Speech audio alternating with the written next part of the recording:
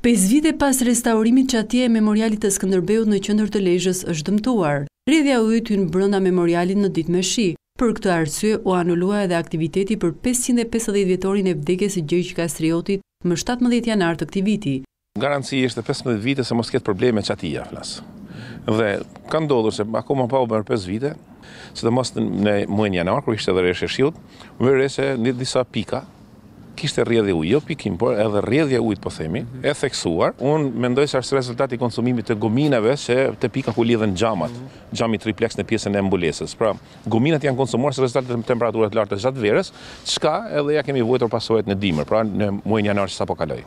Drejtoresha Rajonale e Trashëgimisë Kulturore në Shkodër, Besara Podgorica, u shpreh se është ngritur një grup pune për të vlerësuar teknikisht gjendjen e memorialit me qëllim ndërhyrjen sa më të shpejtë.